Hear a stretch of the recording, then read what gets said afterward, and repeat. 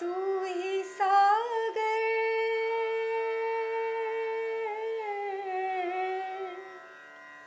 तू ही सागर है, तू ही किनारा। ढूंढता है तो किसका सहारा। ढूंढता है तो किसका સહારા બ્રાહ્મણ વર્ય દેવ શર્માજી પાંડે એટલે કે ધર્મદેવ અને ભક્તિ દેવીનું સંતાન તે ઘનશ્યામ એટલે શ્રીજી મહારાજ. આ ઘનશ્યામજી માત્ર અગિયાર વર્ષની ઉંમરે તીર્થયાત્રાએ નીકળ્યા ને ઓગણીસમા વર્ષે રામાનંદ સ્વામી પાસે દીક્ષિત થયા ને ત્યારથી તેઓ સહજાનંદ સ્વામી અને નારાયણ મુનિ નામથી ઓળખાયા. આમ ઘનશ્યામજી મહારાજ એટલે શ્રીજી મહારાજ, એટલે સહજાનંદ સ્વામી, એટલે જ નારાયણ મુનિ, એટલે શિક્ષાપત્રીના સર્જનહાર ભગવાન સ્વામિનારાયણ. વસંત પંચમી સંવત અઢારસો બ્યાસીના શુભદિને તમામ વેદો, શાસ્ત્રો, પુરાણો અને ઉપનિષદોના દોહન રૂપે શિક્ષાપત્રીના લેખનનો આરંભ વડતાલના હરિમંડપમાં થયો. ભાષા ગિરવાણ સંસ્કૃત અને અનુષ્ટુપ છંદમાં શિક્ષાપત્રીના કુલ બસો ને બાર શ્લોકોનું સર્જન થયું. આ શિક્ષાપત્રીને આદેશપત્રી તરીકે સ્વામિનારાયણ સંપ્રદાયના બધા જ ફિરકાઓ આદરપૂર્વક સ્વીકારી માથે ચડાવે છે. સંસારરૂપી કાદવને દૂર કરી નિર્મળ બનાવનાર અને અવિદ્યારૂપી ગાઢ અંધકાર દૂર કરનાર શિક્ષાપત્રીને ભગવાનનું બીજું સ્વરૂપ ગણી હરિભક્તો આદર આપે છે. એક માતા જેમ સંતાનને કેમ વર્તવું તે શીખવે તે જ રીતે આ શિક્ષાપત્રી સમાજ ઘડતર કરતું શ્લોકશાસ્ત્ર ગણાય છે. એમ કહેવાયું છે કે શાસ્ત્ર સમજી વિચારીને આચરણમાં મુકાય તો તે લોકહિતાર્થ સિદ્ધ થાય છે. અન્યથા તે પ્રશ્નાર્થ વમળો ઊભા કરે છે. આપણો ઉદ્દેશ આ શિક્ષાપત્રીના બસો બાર શ્લોકોના હાર્દને ઊંડાણથી સમજવાનો છે. ભગવાન સ્વામિનારાયણ દ્વારા કુલ અગિયાર શ્લોકોમાં શિક્ષાપત્રી શું ને શા માટેની વિગતો આપવામાં આવી છે. ધર્મ સદાચારનો માર્ગ જીવનમાં પકડી રાખવા માટે સાત શ્લોકોમાં સાર તત્વ રજૂ થયું છે.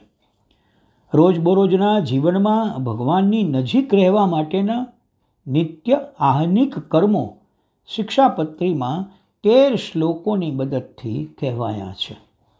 જે આત્મનિવેદી ભક્ત છે, તેમણે કરવાના નિત્ય કર્મ કુલ સાત શ્લોકોથી વર્ણવાયા છે. સર્વશાસ્ત્રો અહિંસાને મોટો ધર્મ ગણાવે છે ત્યારે આપણો અહિંસા ધર્મ કેમ આચરવો? તેના સાત શ્લોક સૂત્રો અહીં મોજૂદ છે. નૈતિકતા ને સદાચાર માટે કયા પ્રકારના કર્મ, વાણી, વિવેકની જરૂર છે તેનો નિર્દેશ ચૌદ શ્લોકોમાં થયો છે.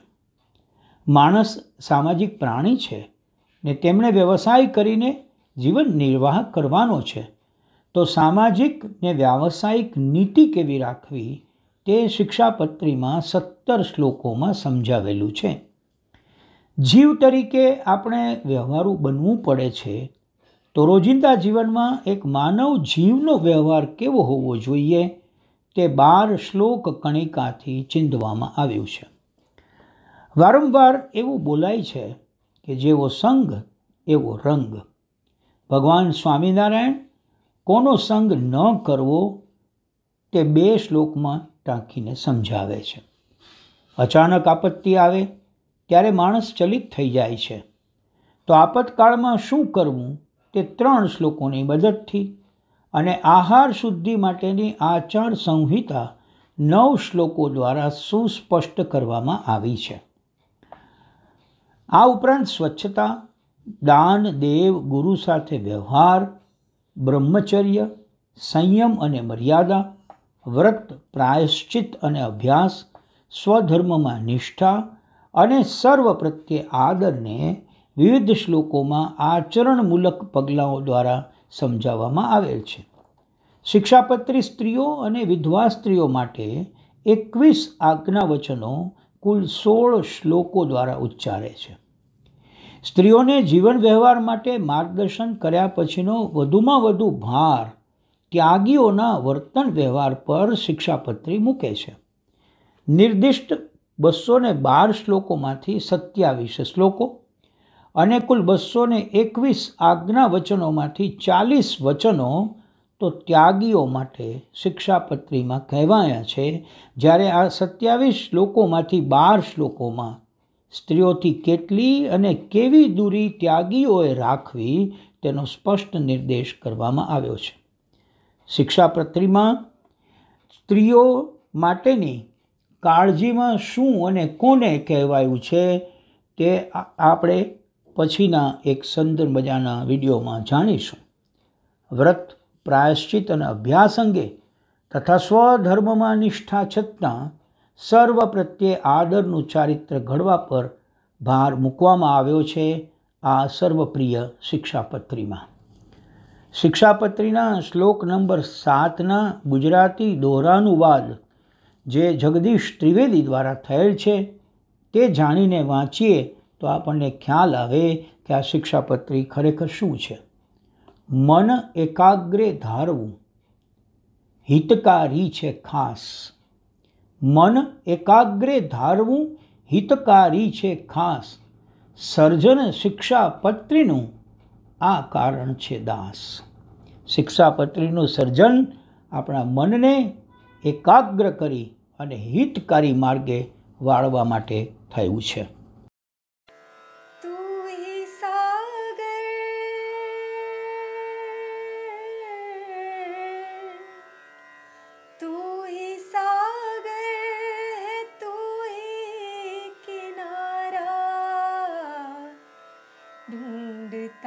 है तो किसका सहारा? ढूंढता है तो किसका सहारा?